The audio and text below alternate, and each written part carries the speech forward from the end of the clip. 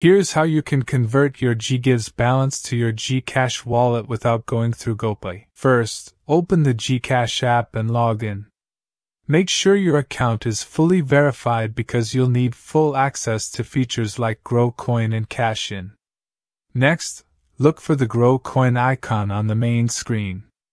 Tap on it, and when you're inside, choose Gcash as the option where you want to convert your GGives balance. Enter the amount you want to transfer. Once you submit that, you'll receive a confirmation code via SMS. After you get the code, enter it in the app to verify and complete the conversion process. Now here's the key step. Go back to the Gcash dashboard and tap on Cash In. This time, instead of using your own number, enter a different mobile number. Make sure it's someone you trust, or a secondary account you own. Enter the same amount you just converted. Once that goes through, you can either transfer it back to your main Gcash number or use it from the alternate account.